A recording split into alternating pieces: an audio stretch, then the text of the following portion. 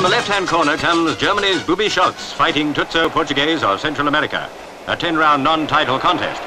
European middleweight champion Scholz lands a power-packed right, and it's evident he carries far too many guns for the Latin American champion. The German connects pretty well as he likes. Before the fight's gone two minutes, Scholz lands three heavy blows, and the fighter from over the ocean starts dreaming he's back there. Angry fans say they've been cheated, but Portuguez at any rate had had his money's worth. Out to the world, deaf to the pandemonium. It looks like the KO of all time. Portuguez wants to make sure it's really over, and they're not just taking time out for injuries. Before taking on Scholz, the Central American wasn't in the running for any title outside his own territory. Believe it or not, he still isn't.